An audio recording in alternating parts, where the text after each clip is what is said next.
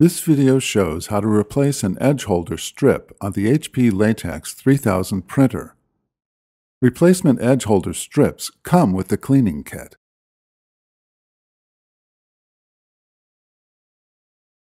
Replace the strip if it is broken or deteriorated. Peel the green film from the edge holder strip back past the cutout. Then put on a pair of latex gloves to protect your hands from ink residue on the old strip. Now you can remove the old strip from the two end clips. Turn the strip to the underside. Remove the screw from one end and remove it from the old strip. Remove the screw from the other end clip.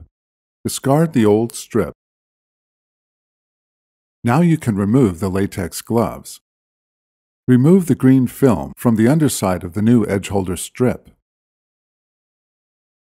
Place the first end of the edge holder into the cutout of the strip.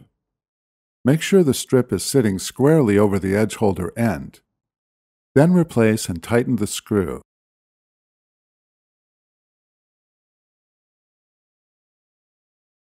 Repeat the assembly process for the other end of the edge holder.